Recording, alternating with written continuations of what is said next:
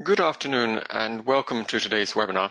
My name's Charles Green and I'm part of the marketing team here at Belatrix Software and I'm going to be your host today. Thank you firstly all for taking the time out of your busy schedule to join this call um, where we're going to be discussing some of the key elements of UX design. Uh, now just very quickly, for those of you not familiar with Belatrix, we are a leading provider of software software development services from Latin America, with the vast majority of our customers being based in the USA we work with clients ranging from cutting edge startups to established Fortune 500 companies. And we work with these organizations in turning their ideas into powerful and engaging software products. And a key part of doing that um, is our user experience expertise, the insights and the skills of our designers and our UX experts in creating software that people really want to use. And it's th this that we're going to examine in today's webinar, from the research to the data analysis, branding, and visual perception to what are the, key trends uh, in UX this year. So we're going to be diving into uh, various different aspects uh, of UX design. And to do this, I'm delighted to be joined by a couple of Belatrix's, Belatrix's experts today, Alejandra and Bibiana. Uh, Bibiana, do you, would you like to introduce yourself? Okay, good afternoon, everyone. Well, my name is Viviana Benavides, and I work here at Belatrix in the UX Center of Excellence. I am very passionate for user experience and give both the client and user a great final product. Excellent, thank you. And Alejandra? Yes, uh, good afternoon, everyone. My name is Alejandra Rodriguez, and I am part of the marketing team here at Belatrix. I am responsible for creating industry-leading thought leadership and bringing together the insights of Belatrix software experts into compelling content. Super, thank you. Um, and before we get started, I should mention that today's session is going to be very open. So we have prepared content, we prepared some slides uh, for the presentation today, but we're very much looking forward to taking your questions um, at any time. So please feel free to, to write them to us, either in the chat box on the bottom right-hand side of your screen, or on Twitter. We're going to be tweeting using the hashtag UXBelatrix. And we'll be live tweeting throughout, so also you can you can follow along on Twitter as well. Uh, and we, also, we received a couple of questions in the registration form uh, for the call today. Um, so we've set aside some time at the end to answer those questions as well. But without any further ado, let's jump into the session today. Um, starting with Bibiana, uh, how do you define exactly what UX design is? Okay, UX design is the process of determining what experience will be when users interact with a service, an interface, or a product. We aim to create enjoyable and frictionless experiences for customers, providing ease of use, accessibility, usability, and pleasure in the interaction. This means users are, are at the center of everything we do, and we believe that UX design is everywhere. Whether you design a device, a building, or even a piece of art, you will always be taking decisions, decisions based on how humans will interact with them. Let's say in the case of the company, this is no different. This is why we must develop user-centered approaches and integrate UX design with other areas of the organization. I think it's, um, as you mentioned, that a, it's a very interesting perspective, right? How it um, really, our perspective is that UX design is everywhere um, and it's in different parts of an organization. But more specifically, can you tell us about how it relates um, together with the software development lifecycle? Yes, I believe that in order to understand the relationship between design and engineering, it's important to mention that the final product must be functional and useful. So what's the difference between them? Functionality refers to the what, which means the features of the product or interface. It is the ability of a device or an interface to perform according to a specific set of parameters. And on the other hand, usability refers to the how, so how the user is going to interact with that product or interface. It refers to the extent to which a product can be used by specific users to achieve specific goals with effectiveness. Companies must ensure that their product meets functionality and usability, and that is why UX design and software development must work together to create the best possible result. But this integration depends to a great extent on company culture and the understanding the organization has of what a UX designer actually does. Sometimes there are misunderstandings between the role of UI and UX, and companies don't invest the time and money that UX design processes actually require. So let's clarify these two concepts. UX designers aim to answer questions such as what are the kind of users they're addressing, what are their expectations and priorities, and how can they provide added value to them. In order to answer these questions, they go through a process that involves research, UX strategy, prototyping, and testing. The role of the UI is to use visual elements such as typography, color, and shape to create an experience that is visually enjoyable based on the UX research and objectives. So this means that basically UX design builds the foundation for UI. So having said that, it's important that companies clarify the real scope of UX design to understand that when designers and developers work together, companies are able to create products that meet the needs of users at all levels. And are there any strategies that companies can follow in order to integrate design and computer engineering? Yes, definitely. Uh, firstly, companies need to invest the right amount of time and resources in user research. And this is probably the most important stage of UX design. It is what builds the foundation for the rest of the UX process and provides a user-centric approach to the initial stages of the software development lifecycle, like product conceptualization and feature estimation. Uh, it is also important that designers work under the same parameters of developers. This means that if companies are using agile development, it is advisable that designers follow this iterative method as well. For example, designers can work one sprint ahead of developers. This, this, will allow them to evaluate and discuss design and software features at the same time with product owners and stakeholders. And if modifications need to be done, designers can provide guidance into how to solve those issues from an UX design perspective. And this significantly reduces costs because issues are solved at early stages. Also, designers can use their skills to effectively communicate with other areas of the company. For example, tools like prototypes and wireframes are very useful to inform other areas about the current state of the project in terms of user interaction, and this fosters day-to-day -day collaboration and the, the awareness of each other's work. And this is very much what you described there. This is very much the approach that Belatrix takes when working with um, with our customers when we when we have these projects that are you know integrating uh, you know, sophisticated software uh, development expertise, but also making sure you have making sure you have those kind of design and the user experience alongside that. And a key part of when we're working with our customers involves um, uh, working together with our user experience center of excellence, which uh, is a part is a part of. So Bibiana, can you tell us how Belatrix's UX center of excellence works? Sure. Well, the objective of our UX Center of Excellence is to provide end-to-end -end services to our clients. We first evaluate the expectations and priorities of our customers how they picture their final product, and we discuss how we can create the best possible experience for their users. Our objective is to provide assistance to detect issues at early stages and fix them before they go to development processes, which lowers the cost significantly. We use Agile as a standard methodology, which means our designers work in iterations to constantly test and validate features. One of the strategies to make sure we meet the needs of customers at all levels is to provide an omni-channel experience. It consists of creating a seamless journey for customers through integrated channels. This means that users can buy products regardless of location and time. For example, they can start their experience on a physical place, continue on a web page, and finish in a mobile application. And, and can you tell us uh, what is the difference between omni-channel and multi-channel experiences?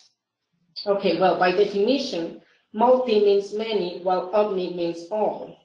This means that multi-channel offers as many channels as possible to provide a positive experience. However, those channels are not integrated between one another. Omnichannel, on the other hand, seeks to harmonize and integrate all channels to offer consistency and an overall satisfactory experience. In other words, with multi-channel experience, the user might find obstacles to move from one channel to another let's say from an application to a physical store, for example. While with omni-channel, users will be able to complete their purchase through different channels without obstacles. Also, there are a variety of elements that compose the omnichannel experience. The first one is consistency across channels. This means there is a cohesive message in every touch point. Customers want to address a single identity, which means they expect to find the same information and quality of experience across channels. You can achieve this by creating patterns, choosing a palette of color, standardizing typography, and defining the tone to address your users. Familiar features across channels develop a closer relationship between customers and your brand. Another element of the omnichannel experience is convenience and availability, which means there is a variety of touchpoints able to respond to the user's need at a given time and those channels are able to integrate online and offline experiences. Finally, neutrality is about offering the same quality across channels. It avoids concentrating too much on a single channel, risking a poor experience in the rest of the touchpoints. But it is not about offering the exact same content in all of the touchpoints. It's about knowing the specificities and strengths of every channel while offering a meaningful, sorry, meaningful experiences in all of them. Like that, we can get the best out of every channel to achieve the same objective.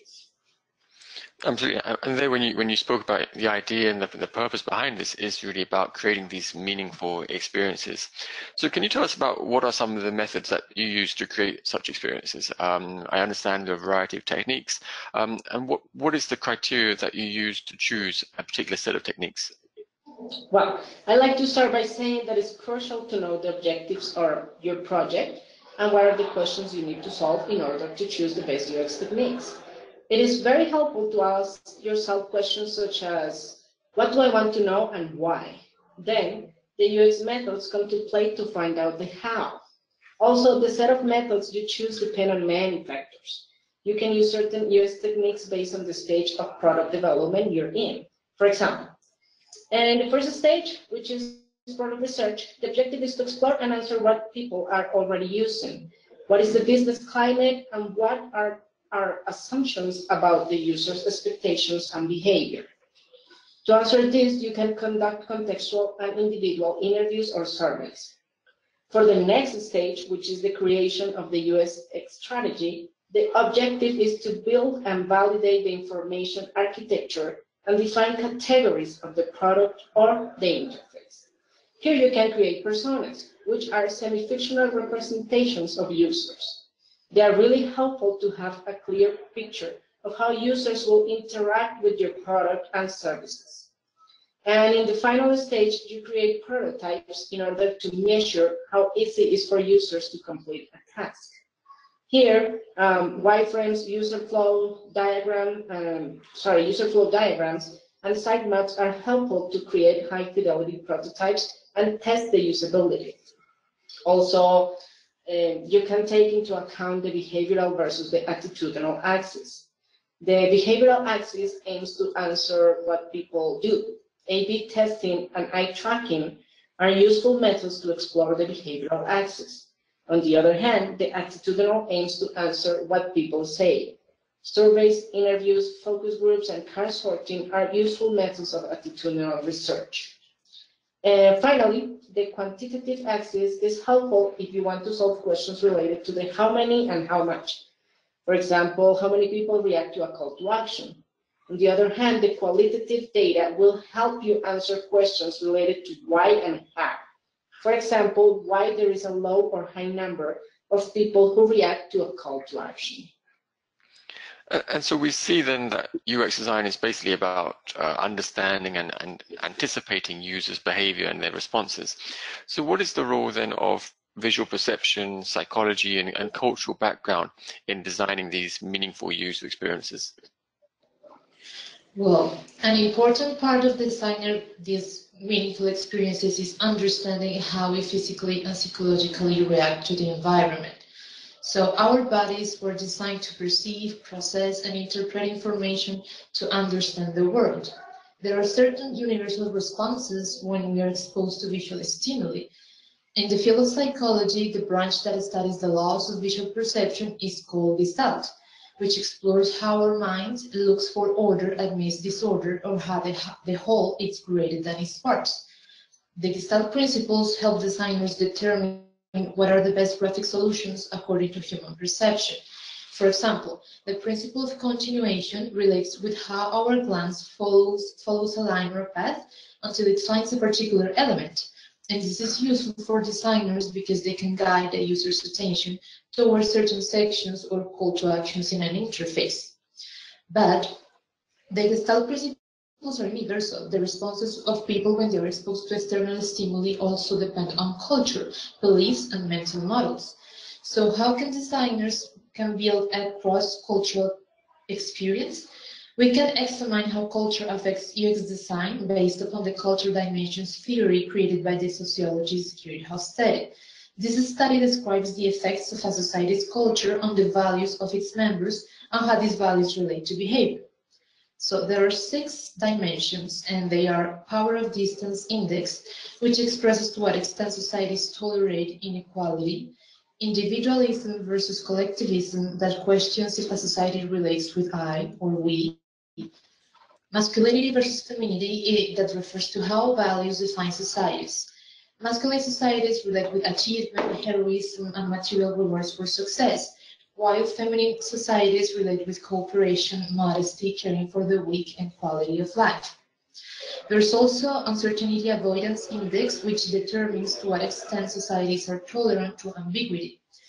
Indulgence versus restraint measures if societies allow relatively free gratification of desires, such as enjoying life and having fun.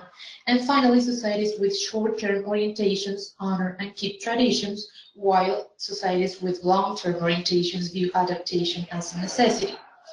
So according to these dimensions, designers can better address their target. For example, when designing for societies with low power of distance index, it's important to note that these kind of users are more exigent and they won't easily find your content as valid. That is why interfaces must provide enough and detailed information so users can make their own decisions and have control over their experience. On the other hand, societies with high power of distance index usually don't question authority and will be, will be more likely to easily find your content as valid. So they're less critical and won't be looking for detailed information. That is why clear and brief statements in which we don't give the user a lot of responsibility work for this kind of audience. Another example is when users address individualistic versus collectivistic targets. When designing for in interfaces for individualistic societies, designers can provide options and information based on the individual needs of users. So you can use sections like find your favorite option or headlines like exactly what you were looking for. On the contrary, interface design for collectivistic groups need to add social features that enable visitors to connect with others and take their decisions based on the opinion of the community. It is advisable to add social media buttons or reviews and highlight the role of the community for the brand or product. Finally, when designing for societies with high uncertainty avoidance, for example, it is recommendable to use familiar patterns and build classic, classic structures and navigations this kind of societies tend to be uh, more uh, conservative. That is why it's important to provide clear information in a simple way, letting the users know what will happen if they take certain actions on the website. But on the other hand, people with low uncertainty avoidance would prefer a cutting-edge interface and include different color schemes for different sections. And you can even play with copyright to come up with something different than a home button, for example. Okay, so you, have explained that, Ali, some of the, um, you know, some of the key principles that help designers make decisions when they're creating these experiences. Um, but also UX design is evolving according to, to the current business and technology landscape. So we see, for example, that design is having to accommodate uh, screenless interfaces, um, yet we're seeing new jobs in UX design emerging. So can you talk to us a bit more in detail about what are some of the UX trends this year? Yes, of course. One of the most important trends for this year is the emergence of voice-based systems. Uh, virtual assistants such as Cortana or Alexa are gaining popularity and traditional graphic interfaces are being disrupted by voice user interfaces. As a result, uh, many interfaces have eliminated the need to type thanks to digital assistants that answer questions and execute a lot of tasks. So what, that is, what does this mean for UX designers? Firstly, designers and developers uh, should be aware of the importance of copywriting for voice interfaces. And this brings to the table the crucial role of machine learning to create digital assistants that can understand the flow of human conversations to address users in an appropriate way. Also, given the importance of copywriting, the job title of UX, UX copy is becoming popular. UX designers can no longer build experiences without taking into consideration the power of narrative. It makes possible not only to choose the right words for graphic and voice interfaces, but also to build a coherent message through all the channels, which is one of the most important elements of omnichannel, omnichannel experience. Uh, the role of UX writers then is to catch the attention of the user and transform complex ideas in enjoyable and digestible content. And when information is simple but interesting, it will be more powerful when evoking emotional responses in users. Excellent, thank you. I think with that, we've now gone through um, most of the most important elements of UX design. Um, but I want to mention here to the audience today that you know, we've um, we're, we're, not just describing this, we're not just working with our customers on these aspects of UX design, but also very much using that in the work here at Belatrix. And we've been doing that um, with the redesign of our website. We've been working on this uh, over the past uh, few months. And what you're going to be seeing now is a kind of sneak preview of our new website. It hasn't been launched yet, but it will be going live soon.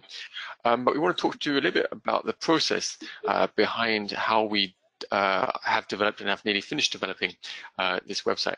So, uh, Bibiana, can you tell us a bit, a bit about the redesign process? Sure, sure, sure. My favorite project. so, um, in order to execute the UX process, our team along with marketing and sales experts, went through a series of steps. Firstly, they evaluated the performance of our previous website.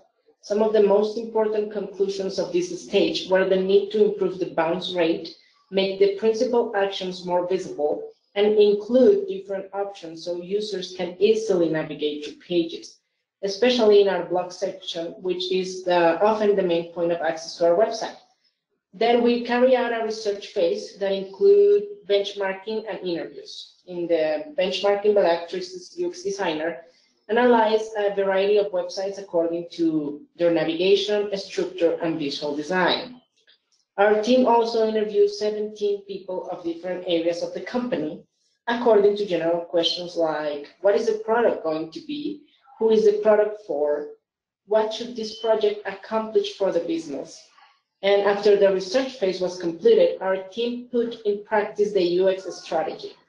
This means they created the information architecture, visual design, interactive prototype, and content sheet in which designers work along with the thought leadership area to create new content.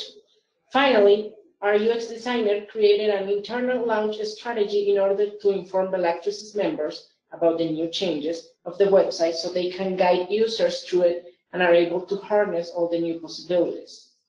Now, soon we will be launching the new web page for the public, and we are very, very excited about it.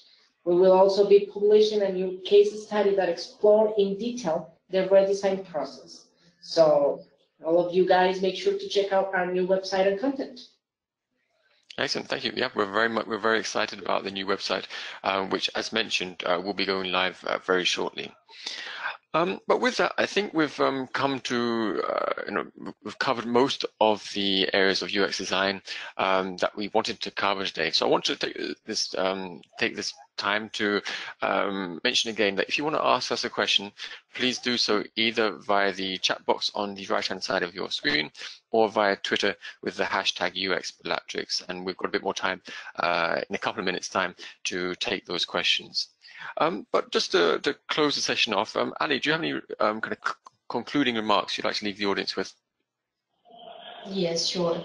Well, I think UX design practices involve a variety of aspects that range from analyzing quantitative data to understanding how uh, psychology and culture shape our interactions with interfaces and products. And user-centric approaches are becoming a must for companies and the technology industry is increasingly aware of the value of the holistic view of UX design and omni-channel experiences.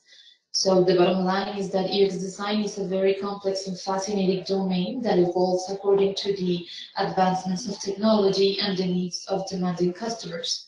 And that is why organizations must invest time and resources in this powerful tool, as well as they need to stay abreast of the latest trends to adjust their practices to create wonderful user experiences.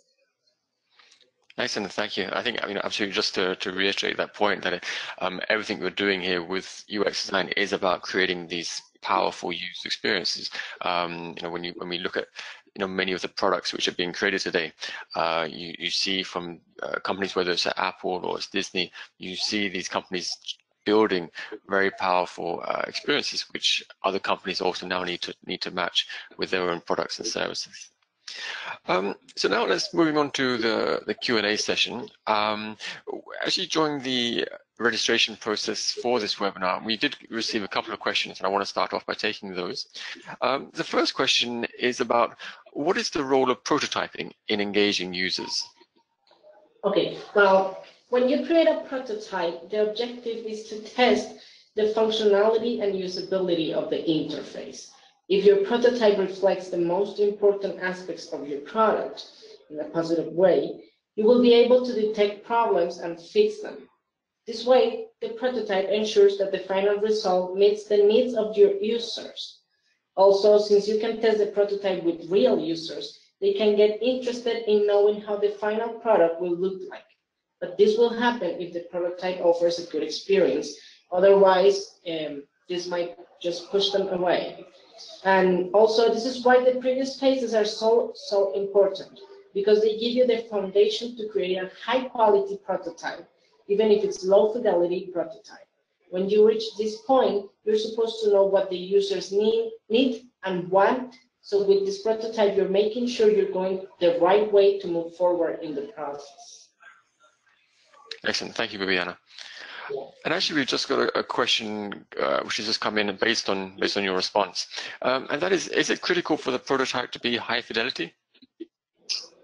No, I think it's more critical for a prototype to have a high quality than a high fidelity. Sometimes you work with a low fidelity prototype and you get really, really good results to keep moving forward.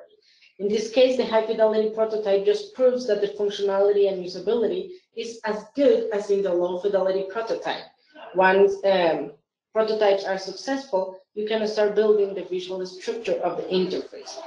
This is why it's always good to test both prototypes. Okay, excellent. Thank you. And actually, whilst you were speaking, we've got a, another question which has come in from the audience, uh, and that is, to what kind of projects does UX apply? Okay, in my personal experience, UX applies for absolutely every kind of project, as we mentioned before. UX can be found in art projects, building a machine, everything should have UX. Let's say I took this path, the digital path, and it applies for web, app, and any kind of software. Of course, in some projects, we need a deeper study of the UX design than others. For example, if I'm an industrial designer and I want to create a table with three table legs, I might need to test a 3D prototype or a real prototype. So I know, so I know the table actually works normally. And this is just an example. Or if I'm working with an app design, I might need my digital prototypes, low and high fidelity, just to test every aspect of the project. Excellent, thank you. Um, let's just see if um, any further questions come in at the moment. I'll just give it, give it a moment.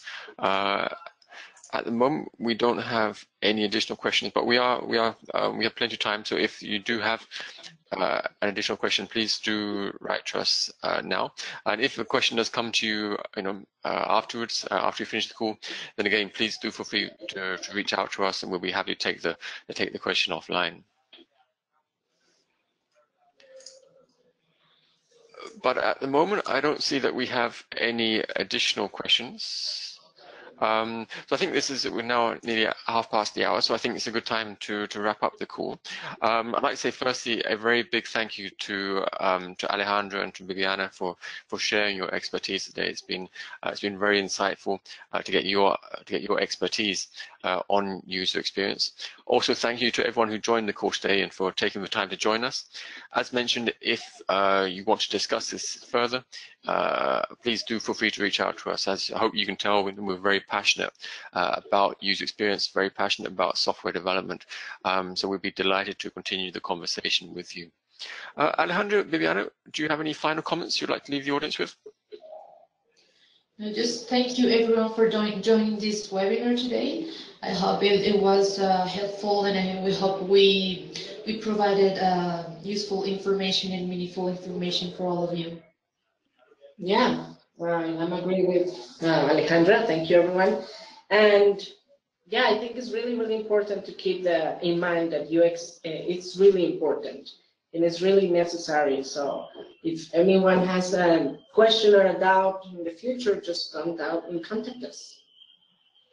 Excellent, thank you.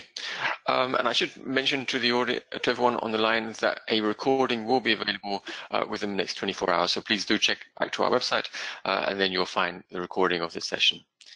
With that, thank you once again for joining the call and I wish everyone a very pleasant rest of the day.